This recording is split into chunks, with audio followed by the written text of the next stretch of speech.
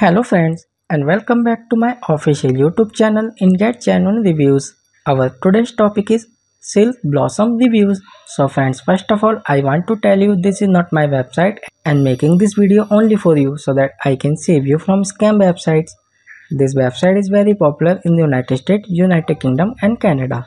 In this video you will get to know all the legitimacy factors related to this website like this website is a legit or a scam website so my dear friends this is an e-commerce website and this website is offering you many types of women's clothing collections as you can see here. So first we will check the legitimacy point of this website but next before going further it is my humble request please like share and subscribe to our channel. Now come to the point. This website is secured by the https protocol and ssl integration to keep the details and transactions safe. So it's a good sign of this website. And this website was registered on 6th of May 2024 and it will expire on 5th of May 2025.